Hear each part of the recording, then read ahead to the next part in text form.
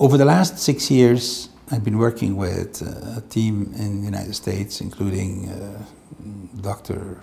Bob Ulanowicz, who, as his name indicates, is American, I guess, and uh, Sally Goerner, uh, both specialists in uh, complexity theory, and specifically uh, for Bob, he is the founder of the quantitative ecology at Maryland University.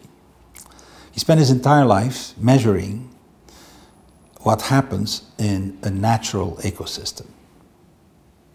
In other words, you have the sun hitting the planet, you have animals, sorry, you have plants growing, you have animals eating the plants, you have animals eating the animals, we have us eating it all.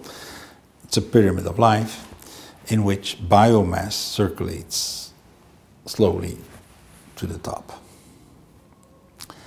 He spent his entire life measuring what happens in ecosystems of many different scales and varieties.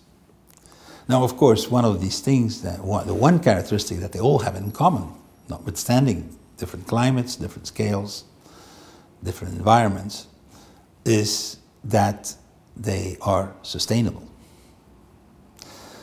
Natural ecosystem is our largest sample of complex flow networks on the planet that are all sustainable. Otherwise, it wouldn't exist.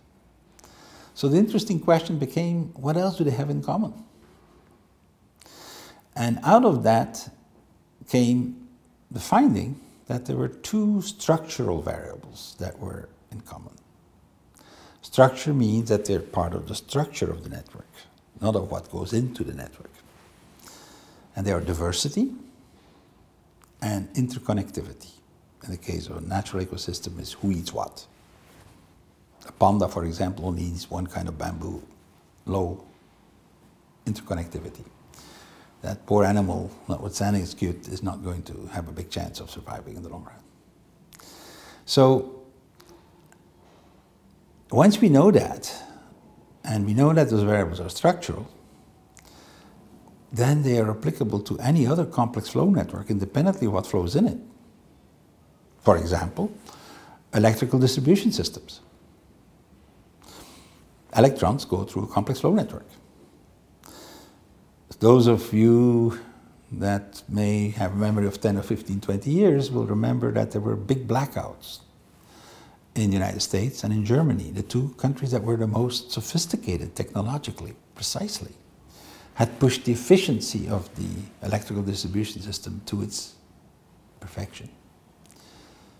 Suddenly, poof, blackouts of half the country.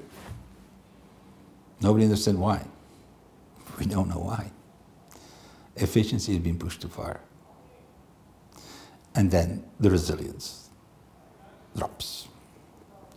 Now, what is an economy? Any economy is just a complex flow network in which money circulates. And we have also pushed efficiency very far.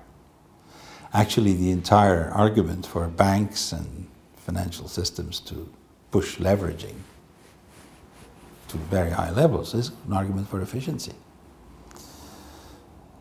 It creates brittleness.